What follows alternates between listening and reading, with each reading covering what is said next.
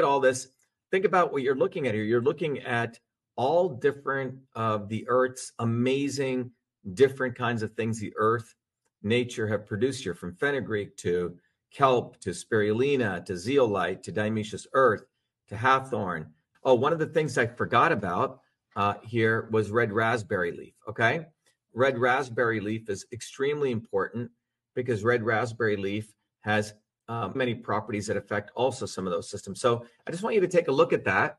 So you look at one, two, three, four, five, six, seven, eight, nine, ten. Ten different, frankly, compounds of compounds. Okay. Obviously, hyaluronic acid is a very specific compound. So is MSM, right? Same with zeolite.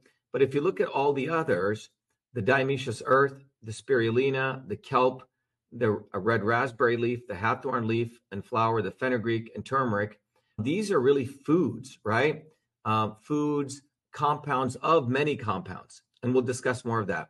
And so, with our CytoSolve approach, the really cool thing I wanted to, as a side note, to let you guys know is that we put all of this together in literally something that we call K9 701. You can get it up on the website if you want to go check it out at vashiva.com slash shop slash K9701.